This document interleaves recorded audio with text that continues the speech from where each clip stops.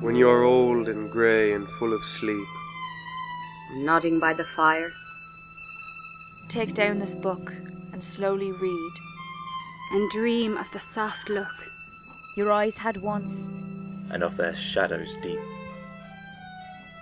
How many loved your moments of glad grace, and loved your beauty with love false or true. But one man loved the pilgrim soul in you, and loved the sorrows of your changing face.